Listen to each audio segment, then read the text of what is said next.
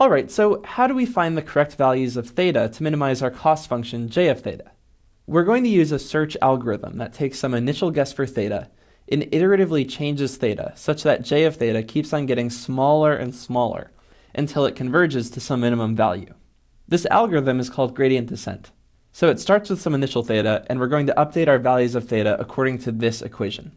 For each theta j, our new theta j is going to be equal to that same theta j minus some constant alpha times the derivative of j of big theta with respect to that theta j.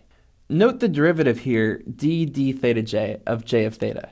If you're less familiar with calculus, what we're doing here is we're calculating the rate of change of j with respect to this particular theta j. We're going to simultaneously perform this update for every single theta j in our big theta. That is, every single theta j in our entire set of thetas. This alpha here is a parameter of the algorithm called the learning rate. What we're essentially saying in this equation is, hey, in the space of all possible values of theta, what's the tiniest step I can make in a certain direction such that I will make the value of j of theta smaller? I'm not going to go into the calculus here, but based on our cost function j of big theta and the dependence it has on all of these various theta j's, if we were to actually perform this differentiation, the actual equation that we'll use to update our theta values is this. Theta j is equal to theta j plus alpha, the sum from 1 to m, of y superscript i minus h of x superscript i. And all of this we're going to multiply by x sub j superscript i. So basically what we're saying is we'll take our existing level of theta, we'll increment just a little bit by this learning parameter, we're going to sum up the difference between our observed y value and our predicted y value.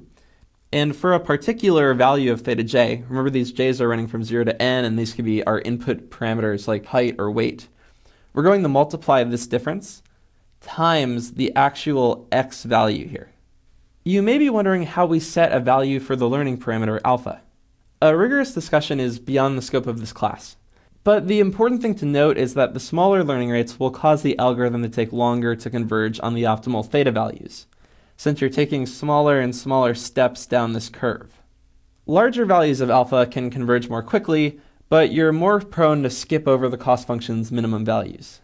This can cause j to increase rather than decrease when you update these theta values. The best way to make sure your alpha is suitable is simply to keep track of your cost function's value as you iteratively update it, and just make sure that it's always going down. If it's not, your learning rate's too high.